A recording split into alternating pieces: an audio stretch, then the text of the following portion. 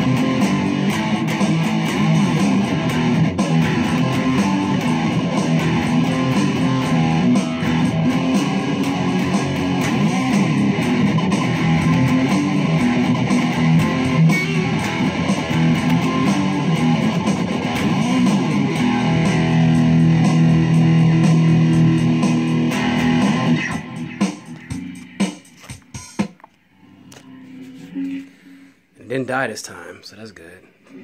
I've gotten really used to that tape echo.